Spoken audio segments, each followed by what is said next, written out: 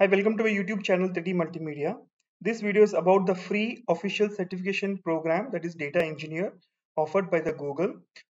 So first you have to join this Google Cloud Innovators, then you can get certified. So it is a no cost program and it re requires up to 9 hours of learning time per week. So you will be waitlisted until your application is reviewed and confirmed for a upcoming edition.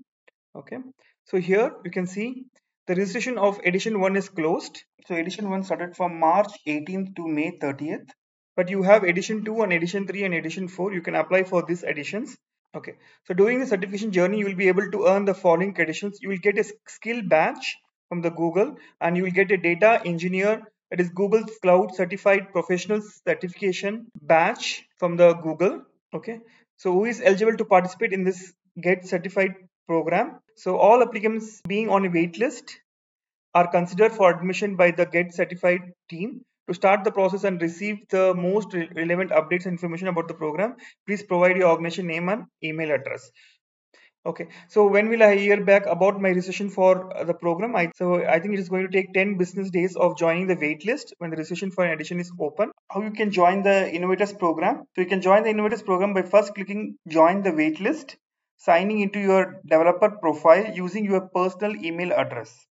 Okay? Then you need to fill out the required details to become an innovator and click the become member button.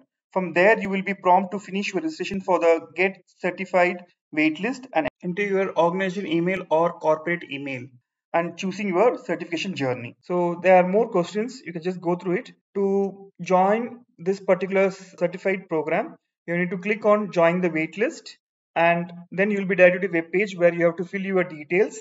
Then follow the steps given here one by one and that will be the completion of your registration. So just wait for 10 business days and you will receive a mail from the google. Okay? So if you like this video don't forget to subscribe my youtube channel 3d multimedia. Thank you